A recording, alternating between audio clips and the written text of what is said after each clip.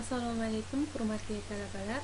Men e, toshkent davlat agrar universiteti andijon filiali agrobiznes va investitsion faoliyat kafedrasi assistenti abdurahimova feruza bo'laman bugun qishloq xo'jaligida menejment fanidan navbatdagi mavzuyimizni boshlaymiz. Demak bugungi mavzuyimiz qishloq xo'jaligida menejment samaradorligi va ushbu mavzuda ko'riladigan asosiy masalalar quyidagilar. Boshqaruv samaradorligi to'g'risida tushunchalar va uning mezonlari boshqaruv samaradorligi ko'rsatkichlari boshqaruv tizimi samaradorligini hisoblash usullari hamda siz qanday rahbar bo'la olasiz. Foydalanilgan adabiyotlar ekranda ko'rsatilgan ya'ni asosiy adabiyotlar xorijiy qo'shimcha adabiyotlar hamda internet manbalari. Ho'p bugungi mavzuyimizni asosi bo'lgan samaradorlik samara o'zi nima? Samara bu natija oqibat meva. Masalan ijodiy mehnat samarasi. Samaradorlikchi. Demak samaradorlik bu kutilganicha yoki undan ham ortiq samara. Samarali sermahsul misol uchun samarali mehnat degani. Iqtisodiyotda samara nima? Bu yaratilgan yalpi ichki mahsulot yalpi milliy daromad yalpi sof mahsulot hamda yalpi sof daromaddan iborat. Birgina samaraning o'zi kishi faoliyatini to'liq ifodalay olmaydi. Eng muhimi shu samaraga qanday xarajatlar orqali erishganligini aniqlashdir. Zero bir xil xarajat qilib turli samaraga erishish mumkin bo'lganidek bir xil samaraga turli xil e, mehnat sarflari tufayli ham erishish mumkin bo'ladi. Ijtimoiy ishlab chiqarishning maqsadi ham oz mehnat moddiy va pul mablag'lari sarflab ko'proq samaraga erishishdir. Bu degan so'z erishilgan samarani sarflangan xarajatga bo'lish kerak. Bunday taqqoslash samaradorlik nisbiy ko'rsatkichini beradi ya'ni nisbiy ko'rsatkichni aniqlash uchun biz samarani sarflangan xarajatlarga bo'lib aniqlashimiz mumkin bo'ladi. Samara va samaradorlik tushunchalariga nisbatan bunday yondashish boshqaruv obyektiga ya'ni yaxlit ishlab chiqarishga xosdir. Boshqarish samaradorligini aniqlashda bu tariqa yondashish albatta noto'g'ri bo'lardi. Sababi bu yerda asosiy urg'u boshqariluvchi obyekt korxona yoki firmani samaradorligiga emas balki ko'proq boshqaruv mehnati samaradorligiga xususan boshqaruv funksiyalarining samaradorligiga beriladi. Boshqaruv resurslari va samaralari. Demak bularga resurslar boshqaruv funksiyalari samaralarning ijobiy va salbiy tomonlarini ko'rishimiz mumkin.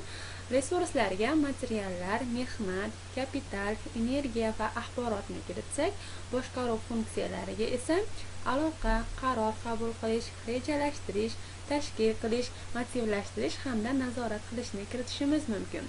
Samaraning ijobiy tomonlarini demak e, yaxshi sifatli tovar va xizmatlar foyda va xarajatlar bandlik ijtimoiy naflar samaraning salbiy tomonlariga esa yaroqsiz tovar va xizmatlar moliyaviy zararlar moliyaviy zararlar ishsizlik ijtimoiy noxushliklarni kiritishimiz mumkin.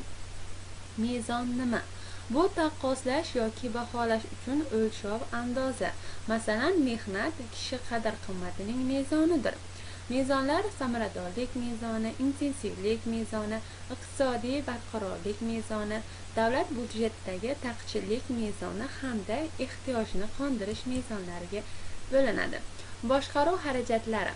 Axborot olish va uni qayta ishlash bilan bog'liq xarajatlar boshqaruv qarorlarini qabul qilish va ularni amalga oshirish bilan bog'liq xarajatlar ilmiy ishlanmalar loyihalash tajriba va seriyali ishlab chiqarishni o'z ichiga oluvchi bosqich xarajatlari hamda mahsulotdan foydalanish xarajatlaridan iborat.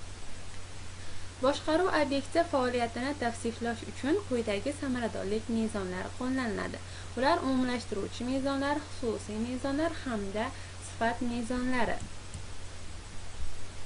Boshqaruv mehnat samaradorligini aniqlash uchun biz bazis va joriy davrlarda erishilgan samara yalpi yoki tovar mahsulotini bazis va joriy davrdagi boshqaruv xarajatlariga bo'lish orqali aniqlashimiz mumkin bo'ladi. Yillik boshqaruv xarajatlari esa quyidagi xarajatlarni o'z ichiga oladi. Muhandis texnik xodimlar va xizmatchilar ish haqi materiallar uchun xarajatlar exm va agrotexnikadan foydalanish uchun sarflangan xarajatlar qo'shimcha va bir yo'la qilinadigan xarajatlar ya'ni bularga boshqaruv texnikasi va uskunalarini sotib olish tashkiliy loyihalarni moliyalashtirishlarni kiritishimiz mumkin qo'shimcha xarajatlarga esa xizmat sarflari transport moliyalash ixtiro va ratsionalizatorlik takliflarini tatbiq qilishga ajratilgan sarflar hamda mehnatni himoya qilish kabi xarajatlar kiradi boshqaruv xodimlarining samaradorlikka ta'siri. Korxonada ishlab chiqarilayotgan mahsulotning mehnat talabchanlik darajasini qisqartirishga korxonaning bir maromda ishlashini ta'minlashga ishlab chiqarishni moddiy texnik bazasini mustahkamlashga hamda biznes reja va texnik iqtisodiy ko'rsatkichlarni optimallashtirishga katta ta'sir ko'rsatadi. Ishlab chiqarish samaradorligi ishlab chiqarish samaradorligini aniqlash uchun esa biz korxonaning sof mahsulotini korxonada band bo'lgan xodimlarning o'rtacha soniga bo'lib yuzga ko'paytirib aniqlasak bo'ladi. Boshqarishni takomillashtirish tadbirlari boshqaruv apparatini qisqartirish uning tashkiliy tarkibini ixchamlashtirish va ishlab chiqarish hajmini ko'paytirish imkoniyatini beradi. Bu natijalarga erishganlik darajasi esa quyidagi ko'rsatkichlarda o'z aksini topadi. Yillik iqtisodiy samara mehnat unumdorligining o'sishi qo'shimcha sarflangan kapital qo'yilmalarining qoplanish muddatlari.